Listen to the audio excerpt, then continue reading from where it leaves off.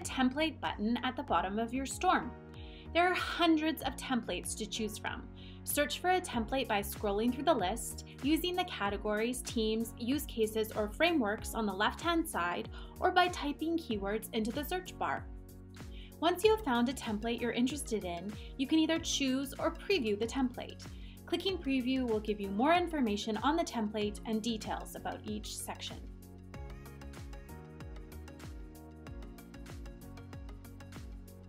The plus sign on any side of your template to add a new section.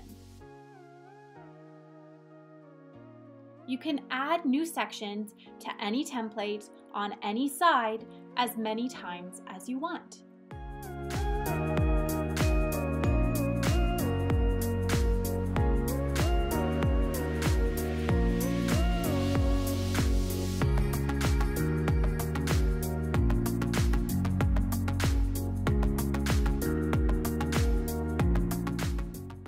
Further organize your meeting or business process, you can split sections using the section menu, giving you more space to organize your content.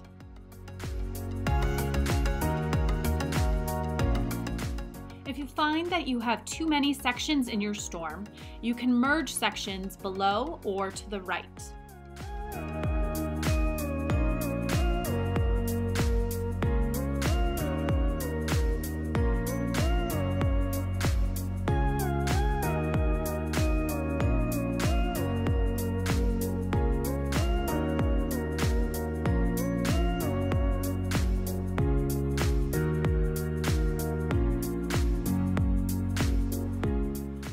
All of your storms are infinite in size, so you can resize any section to be as big or small as you like and never worry about running out of space.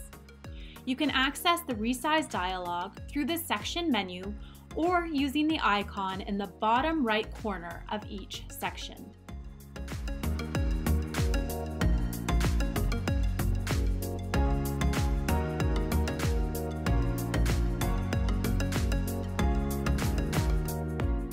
To change your section type, click Edit in the section menu.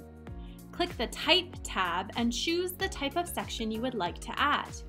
You can change and customize your section type as many times as you want.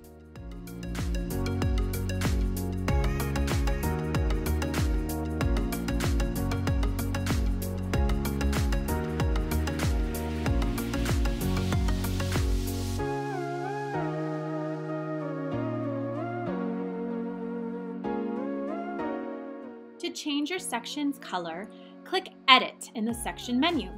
Under General, click the header color and choose a new color for your section. You can match your sticky notes to your section color or use colors to help organize your content, identify different projects, and more.